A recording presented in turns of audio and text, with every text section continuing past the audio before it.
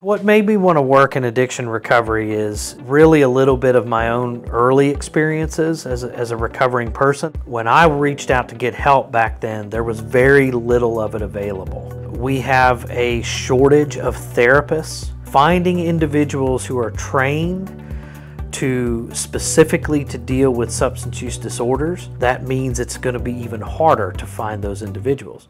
What I'd like to see is us in helping get people trained and informing them about what this profession is.